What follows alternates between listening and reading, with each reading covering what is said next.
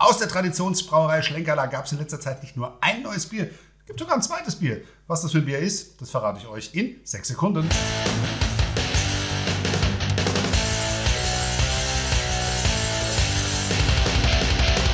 Ja, moin moin und Mendel, liebe Bierfreunde. Ich freue mich, dass ihr heute wieder mit dabei seid bei einer neuen Neuigkeit aus der fränkischen Rauchbierbrauerei zu Bamberg. Und ich habe mich extra in fränkische äh, Tracht gestürzt, um dieses Bier mit euch gebührend zu verkosten.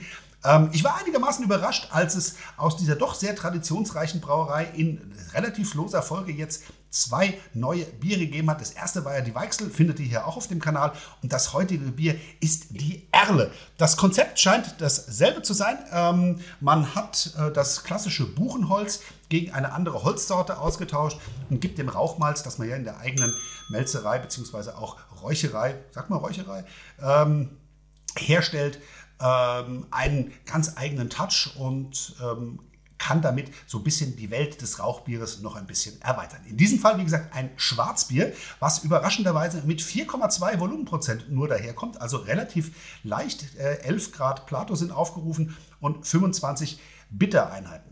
Die ähm, Erle in diesem Fall soll ein bisschen weniger rauchig sein, ein bisschen weniger Röstmalz wurde hier auch verwendet und ähm, ja, die restlichen Zutaten ergeben sich aus dem bayerischen Reinheitsgebot. Ich würde sagen, nach einem kurzen Blick hier noch auf den Kronkorken rücken wir diesem Bier dann auch einfach mal schnell zu Leibe. Über die Brauerei brauche ich, glaube ich, wenig zu verraten. Klassischer geht Rauchbier gar nicht mehr.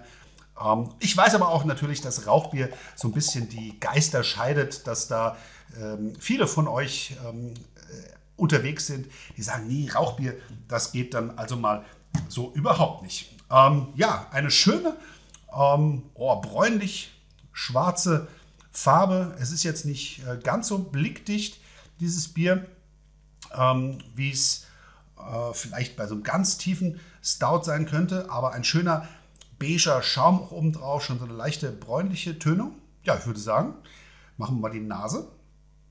Oh, also das, dass das hier weniger stark rauchig ist, könnte ich jetzt nicht sagen. Es ist tatsächlich ein bisschen mehr rauchig, äh, dafür nicht so speckig.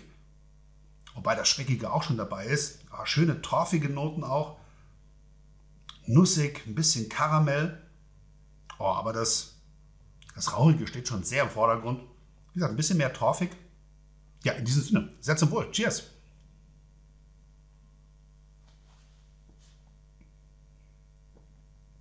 Oh. Ist jetzt tatsächlich in der Nase intensiver als im Trunk. Es kommt schön nussig daher, leicht torfige Nose,